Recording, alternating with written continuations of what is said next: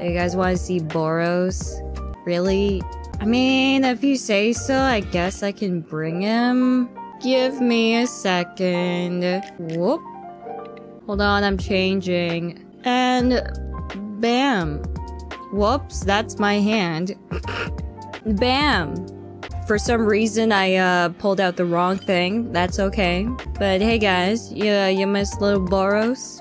He's uh, very happy to see ya. Whoops.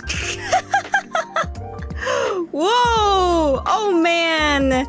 That's okay. You guys have seen enough, right? Uh, do I have to cut that part out? I have no idea. Did I show anything important?